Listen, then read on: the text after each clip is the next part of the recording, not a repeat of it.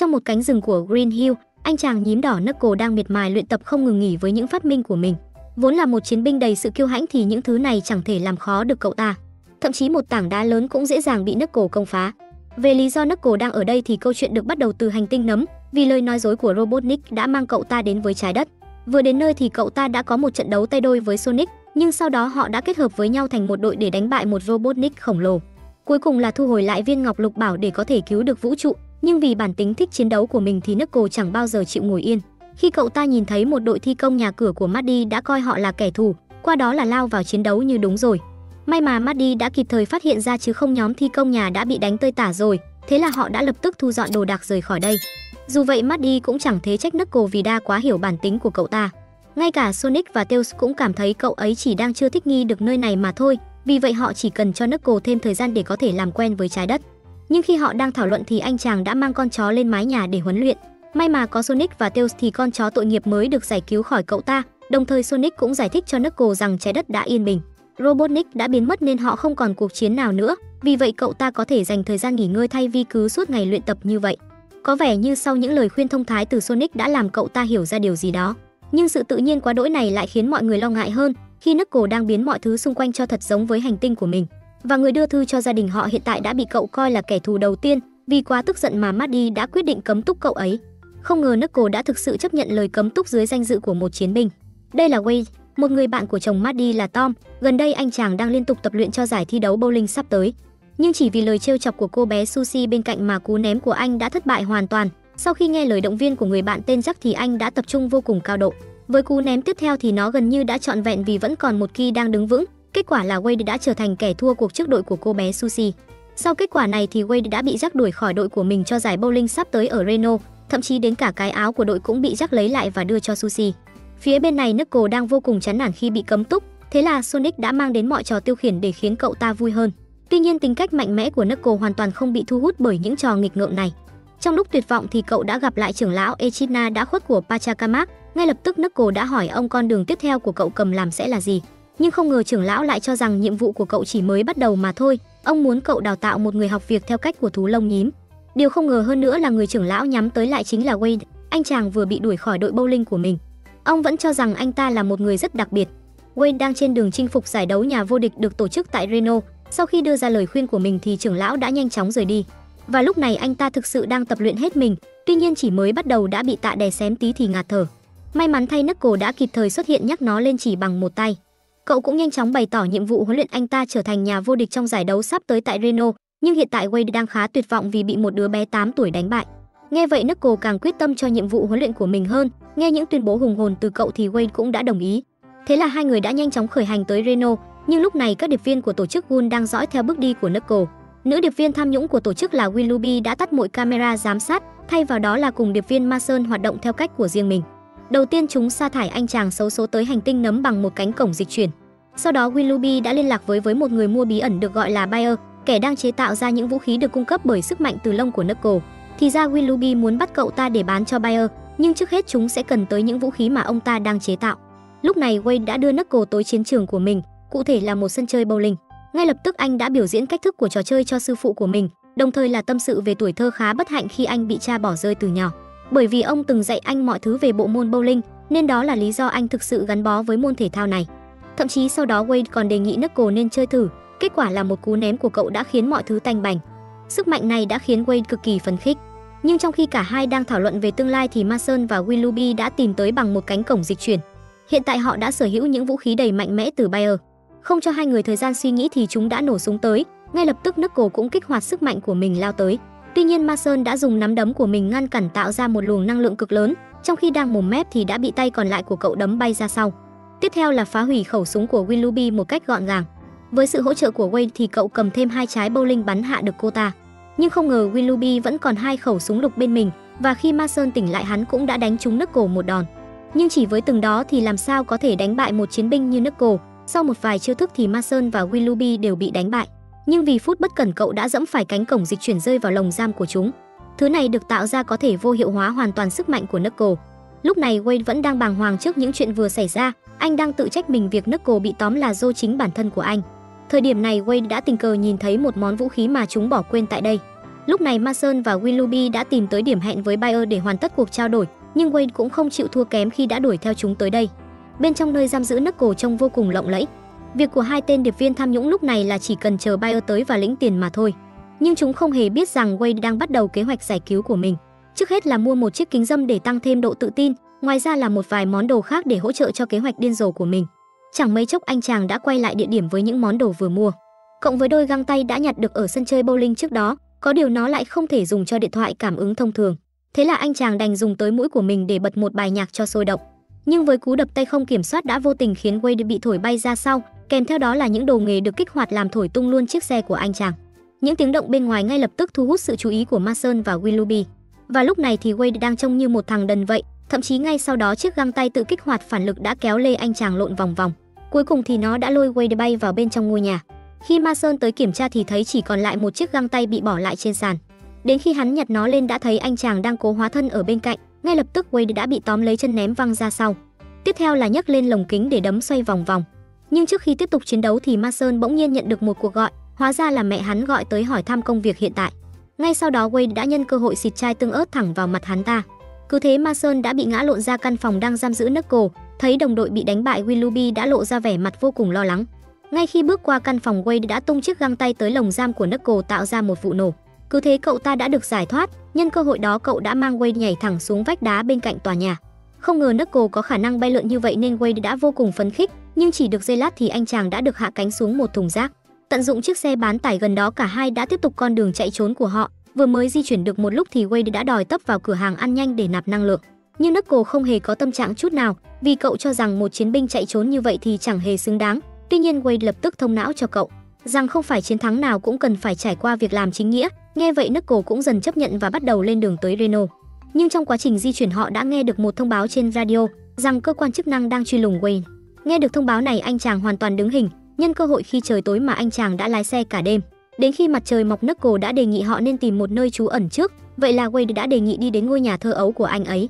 Ngoài người mẹ Wendy luôn nhớ anh từng ngày, thì tại đây còn cô một cô chị gái của Wade có tên là Wanda. Cô là một đặc vụ FBI kém cỏi nhưng luôn thích phô trương. Ngay khi hai chị em mới gặp nhau đã xảy ra một trận cãi vã không hồi kết. Sau khi màn tranh luận kết thúc thì Wade cũng giới thiệu Knuckle với hai người. Nhưng màn giới thiệu hùng hồn của cậu đã khiến Wendy ngất xỉu. Đợi đến khi bà bình tĩnh lại thì Wade cũng giải thích lý do anh và Knuckle có mặt ở đây. Với bệnh nghề nghiệp của mình thì Wanda phải kiểm tra xem Knuckle có mang theo vũ khí hay không trước. Khi cảm thấy an toàn, Wendy đã chính thức mời cả hai ở lại ăn bữa tối Sabbath. Nghe vậy Wade lập tức đứng hình, vì trong ký ức của anh thì bữa tối Sabbath như là một ngày thảm họa vậy. Tuy nhiên với thái độ nhiệt tình của Wendy thì anh làm sao có thể từ chối. Bên cạnh đó Wanda cũng bày tỏ rằng cô ta luôn để mắt tới mọi hành động của Knuckle. Rất nhanh một bàn ăn tối đầy áp đồ ăn đã được chuẩn bị. Trước khi bắt đầu Wendy cũng giải thích ý nghĩa của bữa ăn này. Sabbath là một ngày nghỉ theo người Do Thái, tất cả các thành viên trong gia đình sẽ ngồi lại ăn tối cùng nhau vào ngày này. Cho đến khi những ngọn nến Sabbath lụi tàn, theo truyền thống thì người phụ nữ trong nhà sẽ là người thắp nến. Nhưng vừa thắp nên thì Wanda và Wade lại xảy ra mâu thuẫn, có vẻ hai chị em nhà này chẳng bao giờ có thể để nhau được yên ổn. Không để cả hai làm hỏng bầu không khí này, Wendy đã phải bắt đầu bữa tối, trong khi ăn bà cũng được Knuckle kể rằng cậu hiện tại là thành viên cuối cùng của bộ lạc. Phía bên này thì Wade cũng đang kể về chiến tích đánh bại hai tên điệp viên của chính phủ, cụ thể là tổ chức điệp viên tên Gun. Nhưng nghe cái tên này Wanda lập tức bật cười vì cô chưa từng nghe về cái tên này bao giờ, cô khẳng định Wade chỉ đang vẽ chuyện mà thôi. Trong khi cả hai cãi vã thì Wendy đã phải Alin lên tiếng để hai chị em câm mồm lại, nhưng mặc kệ họ cãi nhau thì Knuckle vẫn đang tận hưởng bữa tối ngon lành. Nhưng thực sự dù Wendy có nói thế nào thì hai chị em này vẫn không thể ngừng cãi nhau lại. Đỉnh điểm là Wanda đã cầm nĩa đâm thẳng vào cánh tay của Wade, thế là anh chàng đã la toáng lên vì đau đớn. Cứ thế bữa tối đã kết thúc chẳng mấy vui vẻ, bước vào phòng của Wayne thì Knuckle cũng khá kinh ngạc, bởi khắp căn phòng là những poster về những người chiến binh. Thậm chí còn có một tấm hình về cha của anh ấy, một nhà vô địch trong rất nhiều chiến trường thi đấu bowling, và ông ấy chính là lý do khiến Wayne quyết tâm tham gia giải đấu đến như vậy. Lúc này bên ngoài đã có một vài kẻ thợ săn tiền thưởng tìm tới nhà của Wendy. Tất nhiên mục tiêu của chúng chính là Wade đang được treo thưởng 100.000 đô.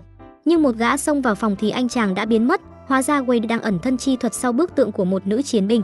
Khi anh chơi trò đánh lén từ phía sau không những không thành công mà còn bị đánh gục trên sàn, đúng lúc này Knuckle đã kịp thời xuất hiện tung một đấm khiến gã thợ săn bay sang nhà hàng xóm. Cùng lúc một tên khác đang đối mặt với Wanda, nhưng cô lập tức bật cười vì hắn trông như nhân vật trong game thập niên 90 vậy. Cho đến khi hắn ra đòn tấn công thì có vẻ cô đã phải suy nghĩ lại lời trêu chọc vừa rồi. Thậm chí có dơ thẻ FBI ra hù dọa thì gã thợ săn cũng chẳng thèm bận tâm. May mắn Knuckle lại kịp xuất hiện tóm lấy sợi xích của hắn, tiếp theo cậu ném văng hắn ta một cách hết sức nhẹ nhàng.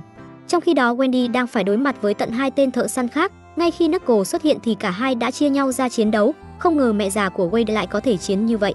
Dù mọi thứ xung quanh bị phá tanh bành thì mục tiêu duy nhất của họ là phải giữ cho hai ngọn nến tiếp tục cháy, phải nói Wendy và Knuckles phối hợp chiến đấu vô cùng chuyên nghiệp. Và khi đám thợ săn bị đánh bại thì cả ngôi nhà cũng thành một mớ hỗn độn. Nhưng không ngờ Wendy lại cảm thấy rất vui, vì cuối cùng các thành viên của gia đình đều có mặt trong ngày sáp bát và bảo vệ lẫn nhau như vậy. Qua đó mối bất hòa giữa Wanda và Wade cũng được hóa giải. Vậy là Wade đã có một buổi sáng được bắt đầu tràn đầy năng lượng. Dù căn nhà đang bị hư hại nặng nề nhưng chẳng thể ảnh hưởng đến thói quen hàng ngày của anh ta. Vừa cảm thấy rằng hôm nay sẽ là một ngày tuyệt vời thì anh chàng đã bị một sợi dây tóm đi mất. Dù thấy cảnh tượng này Knuckles nhất quyết không giải cứu, cậu muốn nhân cơ hội này để Wade có thể rèn luyện trở thành một chiến binh thực thụ. Điều bây giờ Wade cần học đó là tự giải cứu bản thân mình khỏi rắc rối. Hóa ra người bắt anh không ai khác chính là tay huấn luyện viên cũ Jack. Mới thốt lên hốt hoảng thì anh chàng đã bị ông ta bắn hai khẩu súng điện muốn điên người. Khi tỉnh lại Wade đã thấy mình bị nhốt trong một lồng giam rồi, Jack cũng nói ra lý do cuộc bắt cóc rằng ông cũng là một thợ săn tiền thưởng. Bất chấp rằng Wade từng là một người bạn thì ông ta vẫn quan trọng tiền hơn, dù anh có cầu xin thế nào thì Jack cũng sẽ không thả anh ra, thậm chí còn kích hoạt lưới điện quanh lồng giam của Wayne. Có những thành viên đồng hành với Jack trong xe chính là gia đình của cô bé Susie. Nhiệm vụ duy nhất của họ chính là phụ vụ karaoke cho ông ta. Lúc này Wade đã nhận được cuộc gọi của Knuckle. Tất nhiên cậu không tới giải cứu mà chỉ đưa cho anh lời khuyên, việc tự giải thoát bản thân cũng là một trong những kỹ năng của một chiến binh thực thụ.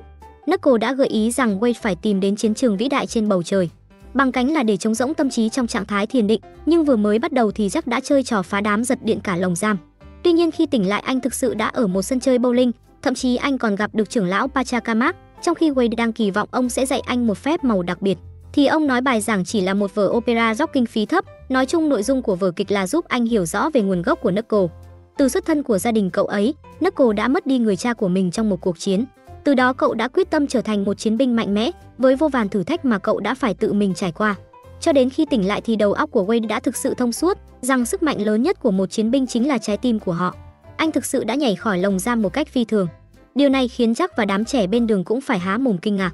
Ngay sau đó Wade còn thách thức Jack một cuộc chiến bằng tất cả danh dự của mình, nếu chiến thắng thì anh sẽ được tự do khỏi sự giam cầm của ông ta. Tất nhiên thì Jack cũng đã sẵn sàng đồng ý bằng cả hai tay, ngay lập tức ông ta đã đưa cho Wade một thanh kiếm và cưỡi trên con mô tô của mình. Thấy vậy Wade cũng liền bỏ tiền thuê ngay chiếc xe đạp của cậu bé bên cạnh để tham chiến. Khi tiếng pháo bên cạnh vang lên thì cuộc chiến của hai quý ông đã được bắt đầu, nhưng thực sự mà nói thì trông hai khứa như hai tên ngốc vậy. Ngay khi lao tới Wade đã thành công cắt đứt chỏm tóc của Jack. Vậy là cuộc chiến đã kết thúc chóng vánh bằng chiến thắng của Wade. Ngoài ra anh còn lấy đi chiếc áo khoác của Jack như chiến lợi phẩm của mình. Ngay sau đó Wade đã quay lại bằng sự tự tin mới có được của mình. Bộ dạng mới của anh chàng đã khiến Knuckles vô cùng hài lòng. Thế là cả hai lại tiếp tục lên đường đến Reno, không chỉ vậy mà con đường tiếp theo còn có sự đồng hành của Wendy và Wanda. Rất nhanh họ đã tới được đích đến, tại đây Wade đã gặp lại người cha Peter của anh. Một người đàn ông nổi tiếng đầy tự tin và được nhiều người hâm mộ, với sự ngầu lòi này Wade thực sự không dám bước lên bắt chuyện với ông ấy. Nhưng dưới sự khích lệ của Knuckles thì anh đã chậm rãi bước tới, không ngờ phải mất một lúc lâu thì Peter mới nhận ra con trai Wade của mình. Nhưng khi nói theo lời thoại của Knuckles hướng dẫn thì nghe có vẻ không được tự nhiên cho lắm, như thể Wade đang là một gã ngoài hành tinh vậy. Đã thế cậu ta còn đang bị sao nhãng bởi một người mặc bộ đồ bông trước mặt, thấy vậy Wade đành phải nói bằng tất cả thực lực của mình, rằng anh tới đây cũng chỉ vì Peter. Đồng thời là kế hoạch tham gia giải đấu bowling sắp tới, thấy hai cha con họ cười đùa vui vẻ thì Knuckles cũng yên tâm phần nào. Trong khi đó Mason và Willoughby đã bị bắt tới một nhà kho, nơi này chính là căn cứ bí mật của Bayer. Hóa ra vì chúng không thể bắt giữ Knuckles nên hắn ta đã trở nên tức giận. Lúc này người cũng tiết lộ hắn từng làm cho tổ chức Gun một thời gian, cụ thể là cấp dưới của gã Robotnik. Cho tới một ngày nhím Sonic xuất hiện trên hành tinh này, tổ chức Gun đã cố xóa bỏ mọi mối liên hệ với Robotnik và bao gồm cả ông ta. Từ đó Bayer vẫn tiếp tục công việc bán những chế tạo của mình trên chợ đen, cho tới ngày hắn ta xây dựng thành một đế chế của riêng mình. Lúc này Willoughby cũng bày tỏ tổ chức Gun đã phản bội cô ta trước, vì cô ta luôn ghét bỏ sự xuất hiện của những chú nhím ngoài hành tinh. Thậm chí con người còn đang tin tưởng vào sức mạnh của họ. Willoughby tin rằng cô ta và Bayer thực sự có nhiều điểm chung, vì thế cô ta hy vọng ông cho một cơ hội để bắt được Knuckle. Cuối cùng Bayer cũng đồng ý cho Mason và Willoughby một cơ hội, nhưng họ chỉ có thể thành công chứ không được thất bại thêm một lần nào nữa. Lúc này giải thi đấu bowling lớn nhất tại Reno đã được diễn ra, có tổng cộng là 32 đội thi đấu trong giải đấu này. Tất nhiên là không thể thiếu Wade và cha của anh ấy Peter. Cả hai cha con họ đều là hai đội vô cùng đáng gờm, được cái là Peter vốn có sẵn fan hâm mộ của mình từ trước nên vô cùng tự tin. Nhưng sự đột phá từ một tân binh mới như Wade đã lập tức thu hút sự chú ý của mọi người. Sự cạnh tranh gay gắt của anh đang khiến Peter dần trở nên lo lắng bởi hai cha con họ sẽ thực sự đối đầu trong trận chung kết vào ngày hôm sau. Dù vậy trước khi trận đấu diễn ra hai cha con họ đã có khoảng thời gian trò chuyện cùng nhau. Nhưng nhìn sự thân thiết của cả hai thì Wendy lại cảm thấy lo lắng, vì vậy tối hôm đó bà đã quyết định gặp mặt Wade. Đầu tiên bà nói về những điều tồi tệ mà khi Peter bỏ rơi gia đình. Chính vì vậy mẹ con họ đều cảm thấy bị tổn thương, nhưng sự thân thiết của hai cha con họ hôm nay bà đã lo lắng rằng Peter cuối cùng sẽ lại rời xa Wade mà thôi. Và khi Wendy trở lại thang máy thì Mason đã tìm tới đây, trong khi đó Wade đã được mời đến thăm căn hộ áp mái trên tầng thượng của Peter. Cảnh tượng xa hoa ở đây thực sự khiến anh chàng kinh ngạc, nhưng thái độ của Peter lúc này có vẻ hơi kỳ lạ. Thì ra ông ta đã thông đồng với Mason và Willoughby để bắt mẹ con Wendy. Thấy cảnh tượng này thì Wade đã hoàn toàn suy sụp trước hành động của cha mình, bởi ông lại một lần nữa phản bội gia đình. Ma Sơn cũng cho biết giữa chúng đã có một thỏa thuận, đó là buộc Wade phải rút khỏi cuộc thi chung kết bowling vào ngày mai. Hóa ra ông ta đang sợ rằng Wade sẽ giành chiến thắng và đe dọa danh tiếng của mình. Đồng thời là mang Knuckle giao nộp cho hai tên điệp viên. Lúc này cậu ta đang trên giường tận hưởng chương trình tên TV. Wade đã nhanh chóng tìm tới để dụ Knuckle lên căn hộ áp mái của Peter, rằng ở đó đang có một điều bất ngờ chờ đón cậu ấy. Nghe vậy cậu ta đã rất hào hứng để được tới đó. Có một điều cậu không biết rằng Ma Sơn và Willoughby đã phục kích sẵn ở đó nhưng Wayne đã bí mật cảnh báo cậu ấy bằng ám hiệu chỉ có hai người biết. Ngay khi cửa thang máy mở ra, Willoughby đã xả đạn điên cuồng tới, tuy nhiên thứ bị hạ bên trong đó chỉ là một con thú nhồi bông mà thôi.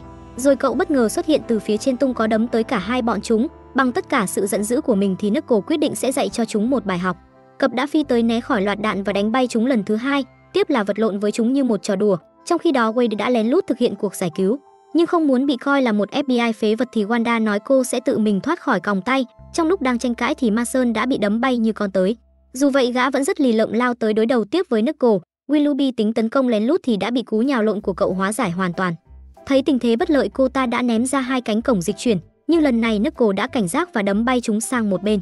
Trước sức hút kinh hoàng của hai cánh cổng thì cậu đã bám vào trần nhà. Mason và Willoughby không thể trụ vững nên đã bị hút vào trong cho tới khi hai cánh cổng đóng lại. Mọi rắc rối hiện tại đã được giải quyết, nhưng cuộc thi chung kết đã bắt đầu nên Wade cần nhanh chóng phi tới địa điểm. Bằng sự khích lệ của Knuckle thì anh đã không bỏ qua cơ hội chứng minh bản thân mình. Cũng vào lúc này thì Wanda đã thoát khỏi còng tay với một ngón tay bị gãy. Phía chiến trường thi đấu Peter đã bước ra như một nhà vô địch, thậm chí ông ta còn lau chiếc cúp như thế nó dành riêng cho mình vậy. Hiện tại đội của Wade chỉ có một mình cô bé Susie nên cô đang khá lo lắng, trong khi Peter đang tự tin rằng anh ấy đã thực sự rời bỏ cuộc thi. Vì thế ông ta đã tự cho mình là nhà vô địch và cầm chiếc cúp lên. Tuy nhiên đúng vào thời điểm này Wade đã bước ra từ phía sau. Vậy là cả hai đã có một màn gáy bẩn trước khi trận chung kết được diễn ra. Dù bị áp đảo về bầu không khí mà những khán giả ủng hộ Peter mang lại, nhưng Wade đã dồn hết sự quyết tâm của mình cho trận đấu hôm nay rồi.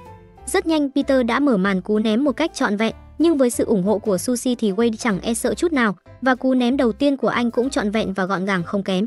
Vì không thể bước vào trong nhà thi đấu nên Knuckle chỉ có thể theo dõi qua màn hình ở ngoài. Phải nói hai cha con Wayne đúng là đối thủ xứng tầm ở trận chung kết, vì cho đến hiện tại thì chẳng ai cho phép đối thủ của mình một cơ hội giành lợi thế nào. Cho đến khi Peter tung một cú ném sai lầm khiến một kỳ vẫn còn đứng vững trên đường dây, Wayne lập tức nhận ra đây là cơ hội duy nhất trong trận đấu. Tuy nhiên bằng kỹ năng của mình thì Peter vẫn xử lý kỳ cuối cùng một cách dễ dàng. Tới lượt Wayne thì anh cũng thực hiện một cú ném tương tự, nhưng chiếc kỳ cuối cùng đã bị hạ chứ không cần đến lần ném thứ hai như Peter. Và cú ném này đã đánh dấu chiến thắng đầy kịch tính của Wade. Lúc này Knuckle đã nghe được một âm thanh chẳng lành. Khi bước ra ngoài cậu đã bị một sợi xích khóa chặt, hóa ra chính gã Bayer đã tìm đến đây. Bằng sức mạnh của cỗ robot thì hắn đã ném Knuckle một cách dễ dàng. Khi Wade đang ăn mừng thì cuộc chiến giữa Knuckle và Bayer đã làm gián đoạn. Toàn bộ khán giả lập tức rơi vào hoảng loạn. Khi Wade bước ra ngoài thì cậu ấy đã bị đối thủ tóm gọn trên tay rồi. Sau đó hắn bắt đầu sử dụng công nghệ của mình để có thể hút hết toàn bộ sức mạnh của Knuckle. Chẳng mấy chốc cỗ robot của Bayer đã tràn đầy năng lượng. Và hiện tại Knuckle đã hoàn toàn vô dụng với hắn. Dù đứng trước gã robot mạnh mẽ nhưng Wayne vẫn tuyên bố sẽ đánh bại hắn ta. Ngay lúc này Wendy và Wanda cũng xuất hiện trên một chiếc xe độc đáo. Họ đã mang tới cho Wade một thứ vũ khí là cặp găng tay sức mạnh. Ngay lập tức anh đã mở màn cuộc chiến bằng cách thức là ném bowling tới đối thủ, nhưng những cú ném này chẳng gây tổn hại chút nào cho Bayer. Đến khi ném hết số bowling thì nước cổ cuối cùng đã tỉnh lại. Cậu dễ dàng nắm chặt hai xúc tua của con robot và hút lại toàn bộ sức mạnh của mình. Bằng nắm đấm rực cháy của mình thì Knuckle đã lao tới như một quả cầu lửa, tiếp là hai cú đánh khiến tay chân con robot rụng rời. Wade cũng giúp chút công sức hạ quả cầu khổng lồ của tòa nhà dùng để đè bẹp gã Bayer, trong khi đó Peter đang mừng rỡ vì có thể chôm chiếc cúp vô địch rời khỏi đây. Nhưng chưa kịp rời đi thì đã bị mẹ con Wendy ngăn lại và hạ ngục bằng một đấm. Vậy là bộ phim về cậu nhím lô đỏ Knuckle tới đây cũng đã kết thúc rồi. Một phần phim khá thú vị của cậu ấy khi ở trái đất đúng không nào? Nếu anh em thấy hay thì đừng quên để lại một đăng ký kênh cho bún nhé. Hẹn anh em trong những video mới nhất.